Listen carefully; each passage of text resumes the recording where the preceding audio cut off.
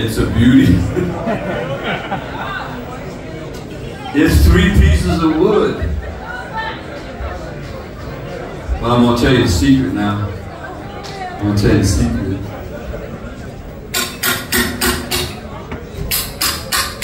Official.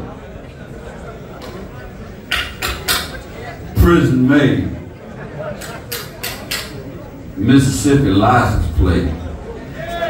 Coahoma County, 1968. It is, however, don't get excited because it's out of registration.